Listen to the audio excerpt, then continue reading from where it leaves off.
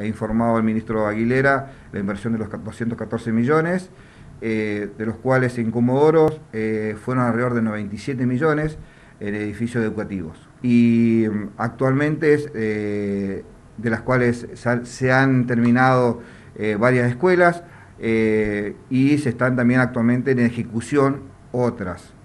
Eh, de las escuelas que están terminados, por ejemplo, la escuela 119, la escuela 1, la escuela 27, la escuela 154, y eh, después estamos en ejecuciones otras escuelas, de las cuales actualmente podemos visualizar un gran avance. Todo esto y mucho más lo pueden encontrar en nuestra página web canal9.tv y también todos nuestros programas de noticias en vivo a través de nuestro canal de YouTube y en Facebook. Nos encuentran como Canal 9 Comodoro.